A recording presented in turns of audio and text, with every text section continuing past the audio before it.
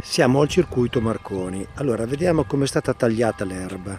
Perché si dice che l'erba ricresce. Qui non, è, non ricresce. L'erba non è stata tagliata, è stata tagliata malissimo. Praticamente fra poco invade di nuovo la pista d'atletica.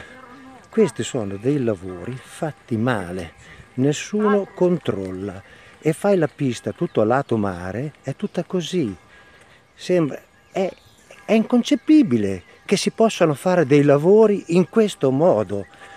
Non c'entra quello che ha detto la ragazza, l'assessore lì, che l'erba ricresce, non c'entra, questa non è stata tagliata, questa è gialla, è gialla, arriva su alta anche due metri, quindi non è stata tagliata. Qui è stato chiuso 15 giorni, ma chi ha controllato i lavori? A chi spetta? Spetta al comune, all'ASET, è tutto così, ma chi fa i lavori?